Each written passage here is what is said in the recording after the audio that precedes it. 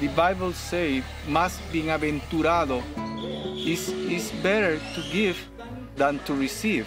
That when we are giving something, we are also receiving something uh, better than what we give. How we can love God if we don't love other people?